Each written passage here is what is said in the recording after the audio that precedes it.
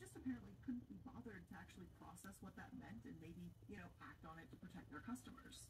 It's no wonder they asked their employees to compromise their ethics. Comcast clearly doesn't have any of their own.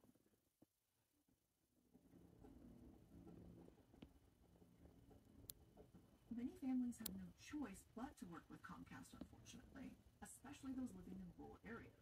You can take what you get. Unfortunately, even taking the bare minimum can come at an exorbitant.